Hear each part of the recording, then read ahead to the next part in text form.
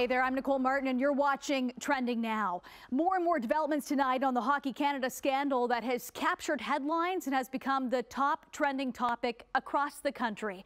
The sports governing body continues to defend its leadership from a landslide of criticism over how it handled an alleged sexual assault. But pressure is mounting. A growing list of major sponsors are pulling their support. There needs to be wholesale change. They need to do it. They need to realize that uh, if, if we have to create an organization, get rid of Hockey Canada and create an organization called Canada Hockey instead, um, people will look at doing that. Also tonight, for the first time, we're hearing from the survivor who was sexually assaulted by Hedley frontman Jacob Hoggard as his sentencing hearing gets underway in Toronto. It's a heavy day here again on Trending Now as we dig through some of the most talked about stories of the day. More and more sponsors have had just about enough of Hockey Canada's management and how they handle disturbing sexual assault allegations involving eight players on the 2018 junior team. At this point in the day, it would almost be easier listing who hasn't removed funding from the organization, but here's a snapshot of the developments. After Tim Hortons dropped their sponsorship yesterday, the fallout continued for Hockey Canada. Telus writing to Trending Now saying, We are deeply disheartened by the lack of action and commitment from Hockey Canada to drive necessary cultural change. Another big one, Canadian Tire, who tells us, in our view, Hockey Canada continues to resist meaningful change and we can no longer confidently move forward together. Hockey Canada has completely lost the confidence of Canadians. Skip the Dishes says, like many Canadians, we have been deeply troubled by recent allegations and, as such, have since terminated our partnership with Hockey Canada. Scotiabank adding, we publicly called on Hockey Canada to hold the game to a higher standard, and we are disappointed with the lack of progress to date. Ending with, the time for change is long overdue. Hockey Canada's leaders are losing support, that they no longer have support of their sponsors, of uh, Canadian uh, families that are sending their kids to, to play hockey. Like Tim Hortons, Sobeys dropped Hockey Canada but says they will continue to support the women's national hockey team. Canada's sports minister with strong words for the organization's leadership today. So I hope that uh, they understand the message and leave uh, before they burn it to the ground. I think that it needs new leaders, new directors, and new experts. Uh, to renew this organization, it needs to be rebuilt. This all comes after Hockey Canada's interim chairwoman Andrea Skinner's testimony in Ottawa Tuesday. Clearly, these companies were not happy as she insisted that culture change can happen while maintaining current leadership like CEO Scott Smith. And I don't think it's in the in the best interest of hockey or Hockey Canada for for this organization to be destroyed. I, I don't I don't think that a mass exit, if all the board were to resign and if all of senior management to be replaced, who would they be replaced with? What will that Ms. mean for hockey? Ms. How will Skinner, that impact me, the boys and girls? Let me be a little bit more specific then. Why is the leader of this organization being protected rather than being held accountable? And it's not just the highest profile corporate sponsors pulling the plug. Hockey Quebec will be withholding $3 player fees collected that go to Hockey Canada, and the Ontario Hockey Federation is trying to do the same. With these calls for change growing, what will Hockey Canada's next step be? Joining us tonight is University of Guelph professor and sports management researcher Anne Pegoraro. And let's get right to it. What do you make of these major sponsors dropping off and Hockey Canada's attitude toward the allegations and questions about their leadership?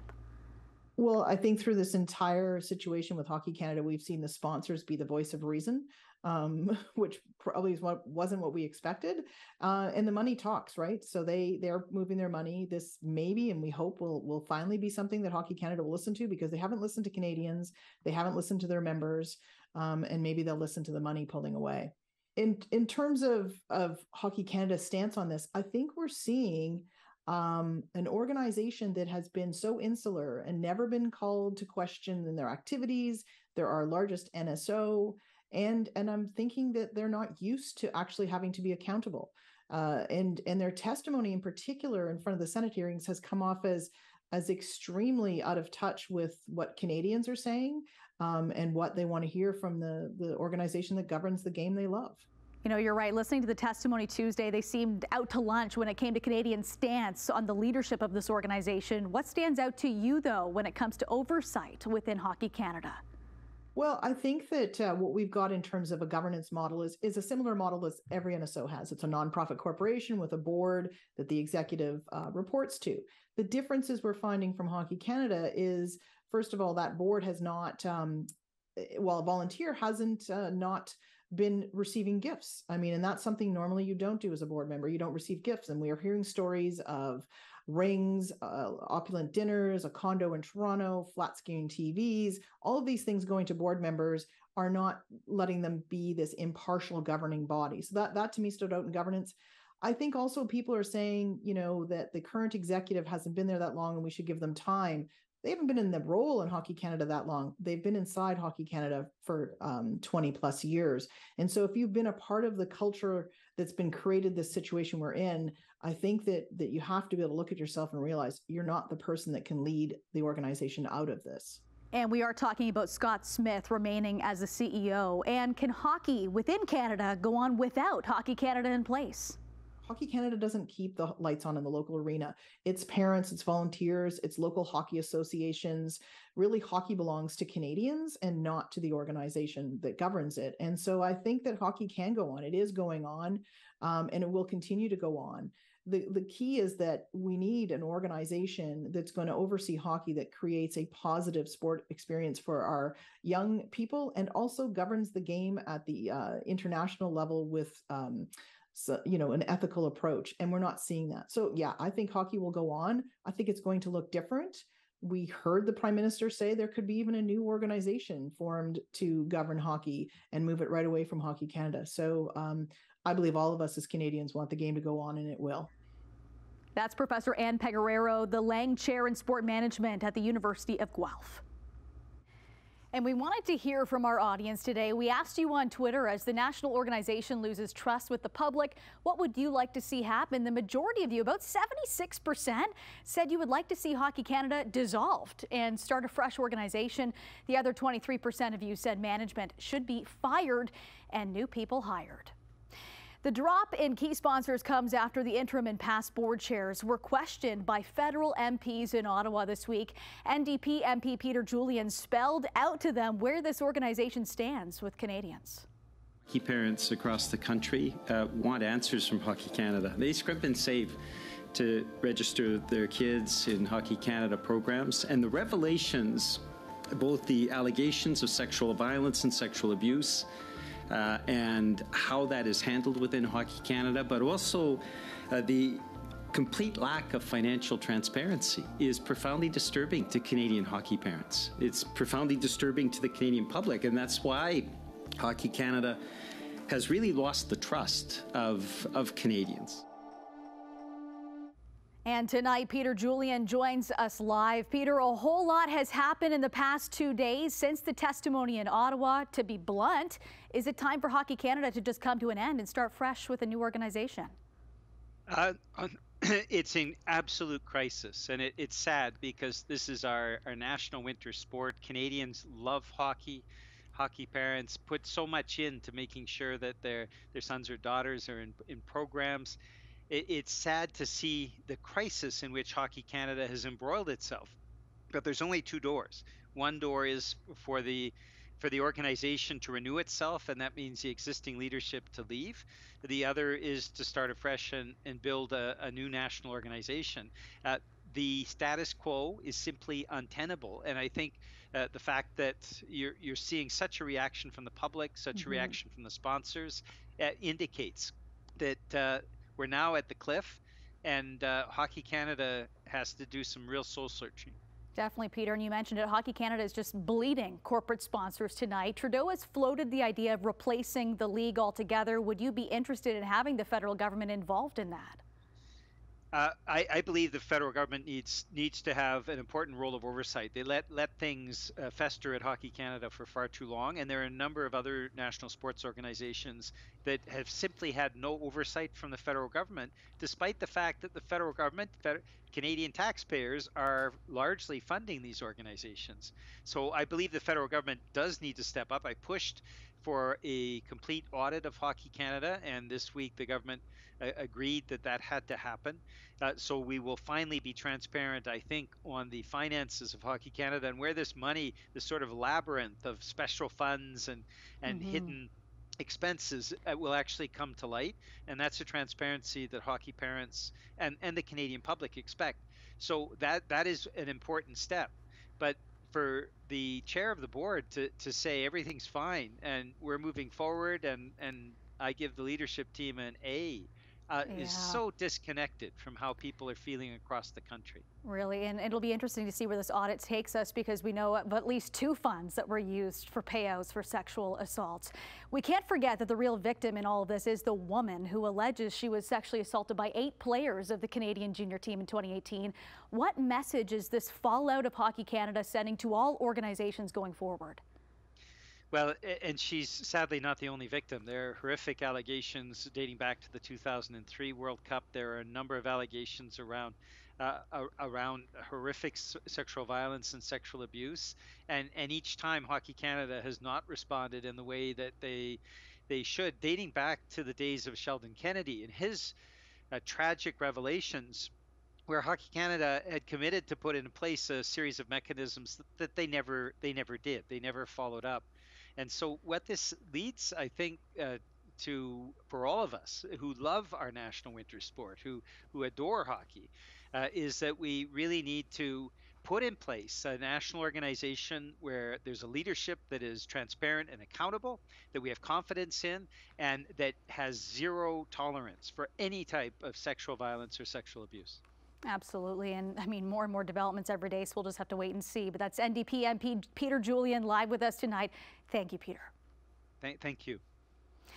The next story contains some graphic details that may be disturbing. We've been following the sentencing hearing today for Hedley frontman Jacob Hoggard. Manisa Dhanabalan is live with us tonight. And Manisa, we're hearing from the woman who was assaulted, saying her life has been shattered by this attack.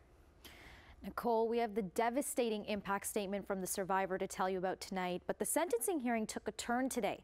The judge did not deliver a sentence after some issues were raised with evidence in a forensic psychiatric report, which names some of Hoggard's sexual partners. The judge saying that it will take some time to evaluate the report. Canadian musician Jacob Hoggard and the rest of the world heard from the survivor of a violent assault within a Toronto courtroom. I would lay in my bed and cry myself to sleep until I was numb. I went to sleep praying that I wouldn't wake up the next morning. Six years later, I still have these nights. She went on to say, I was ridiculed online by complete strangers. Women I've never even met were making t shirts and signs in support of the man that raped me. Jacob Hoggard was found guilty of sexual assault causing bodily harm earlier this year. It was a 2016 incident that happened in a Toronto hotel room.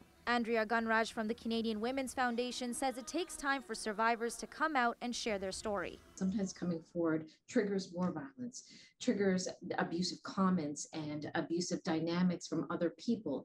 It might create criticism and judgment, and you might feel that your whole world is falling apart. The Ottawa woman assaulted by Hoggard, who cannot be identified because of a publication ban, read, I distanced myself from everything I loved. I lost out on major job opportunities at work. I missed important moments with my loved ones that I will never get back. The toll is huge on people's lives. She closed her statement with this I would like to offer a piece of advice to Mr. Hoggard. In his own words, don't worry, it will be over soon. The woman is also suing Hoggard for $2.8 million in damages. The singer was also charged with sexual assault in March in a separate case for an incident that allegedly took place in June 2016 in Kirkland Lake. A pretrial for that case is expected to take place mid-October. The Hoggard case is among a number of other artists who are also facing sexual assault accusations like Marilyn Manson and Win Butler of Arcade Fire. Music expert and Canadian radio broadcaster Alan Cross says there needs to be a shift in culture within the music industry. I mean, it is an industry built on fantasy. It is a an industry built on dreams, an industry built on sex, drugs, and rock and roll. There's been a lot of you know encouragement and toleration of, of bad behavior over many many decades, and it's going to take a very long time to change some of these attitudes. He says there have been changes, but there is still a long way to go. Hoggard has been out on bail since he was charged. The hearing is expected to continue later this month, and the Crown has requested six to seven years behind bars. Nicole? That's certainly a lengthy time. Thank you so much, Manisa. If you or someone you know has experienced sexual assault, you're not alone. There are resources that can help and offer support for both survivors and the people closest to them. There's no national support helpline in Canada, but each province has their own services available. We have the information for Ontario's various supports on the screen here. Kids Help Phone also provides the ability to speak to a professional counselor 24 hours a day. Well, new tonight on Trending Now, the RCMP say their investigation has revealed that Myles Sanderson, a suspect in a mass stabbing in Saskatchewan, killed all 11 people on his own. They're completing 250 interviews, processing over 670 exhibits, reviewing and following up on over 100 911 calls for service. Investigators have determined that Damien Sanderson was a victim of homicide by Myles Sanderson. Myles Sanderson committed all of the homicides alone. Tonight, Saskatchewan RCMP now say Damien Sanderson was a victim, not a killer. Police say their investigation shows his brother's brother Myles Sanderson killed all 11 people during the mass stabbing on the James Smith Cree Nation and the nearby village of Weldon back on September 4th. Damien had initially been named as a suspect. Despite not being a killer, the RCMP say there is still evidence Damien was involved in the planning of the attacks. Evidence collected and analyzed by investigators to date have determined Damien was involved in the initial planning and preparation for the attacks on September 4th. We are still investigating the extent of Damien's involvement. And to the latest in Thailand now, we want to warn you the images in this story are disturbing. The death toll from a massacre at a nursery in northeastern Thailand is now at 37. Those dead include 24 children and one pregnant woman. The attacker is also dead. Ten others are injured. Authorities say most of the deaths were the result of stab wounds. They say the children, who ranged in age from two to five, were taking their lunchtime nap when this massacre occurred. And the killer was identified as a former police officer who was dismissed from his post last year over drug allegations. He was also facing trial on a drugs charge. Authorities say the man had been in court earlier in the day and then went to the daycare center to pick up his child. When he did not find his child there, that's when police said he began the killing spree. The man then went to his house and took his own life after killing his wife and child. Now, reaction to the devastating attack poured, poured in online. United Nations Secretary General Antonio Guterres tweeted in part, learning centers should be spaces where children feel safe, never targeted. And UK Prime Minister Liz Truss also tweeted her condolences and shock. Coming up on Trending Now, the latest stories you've been reacting to online. Don't go anywhere. Trending Now is back right after this. Welcome back. From celebrity feuds to sport fights to new trailers, here's your look at what's trending now online. Kardashians and Kanye West are publicly fighting yet again after his fashion show at Paris Fashion Week. West took to Instagram to praise conservative commentator Candace Owens for being, quote, the only public figure to say that it was wrong for the Kardashians to keep me from seeing my daughter. Khloe, the sister of West's ex wife Kim, responded to the allegation in a comment she posted Yay, I love you. Don't want to do this on social media, but you keep bringing it here. You are the father of my nieces and nephews, and I'm trying to be respectful, but please stop tearing Kimberly down and using our family when you want to deflect. West fired back, calling the Kardashians liars and accusing them of kidnapping his daughter Chicago on her birthday. It was only two weeks ago that West did an exclusive interview on Good Morning America apologizing for his behavior toward Kim. This is the mother of my children, and I apologize for any stress that I have caused.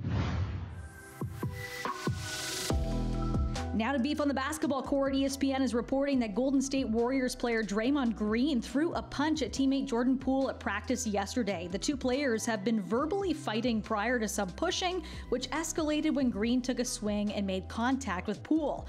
Poole wasn't hurt by the punch and completed his workout before leaving practice. Warriors team officials are looking into the fight. Green has a history of challenging teammates in practice and game settings, even getting into it with Drake one time on the sidelines. Sticking with basketball, LA Lakers player LeBron James may soon move from playing for a team to owning one. I would love to uh, bring a team here at some point. James said he would like to own a franchise in Las Vegas if the NBA ever goes ahead with its long rumored plans for an expansion team. Vegas has become a hotbed for sports in recent years, adding the NHL's Golden Knights in 2017 and the NFL's Raiders in 2020.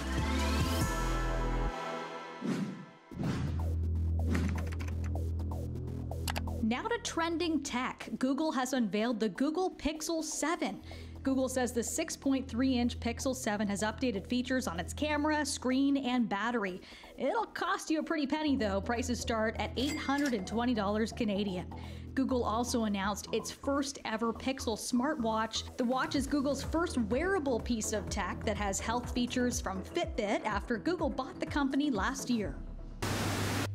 And the Emmy goes to The White Lotus! Murray Bartlett, The White Lotus. Mike White, The White Lotus. Mike, Mike White, White, The White Lotus. Emmy's darling, The White Lotus, is gearing up for season two with a new trailer. In the show's universe, The White Lotus is an international chain of expensive resorts. Season one was set at a resort in Hawaii. Season two will take place at the chain's location in Sicily.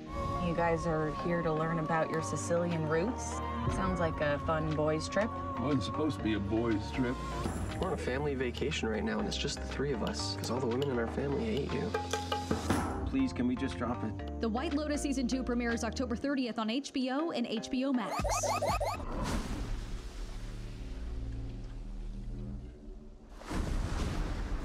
The wait is over. We can stop losing sleep because we finally know what Chris Pratt's Mario voice sounds like in the Super Mario Bros. animated movie.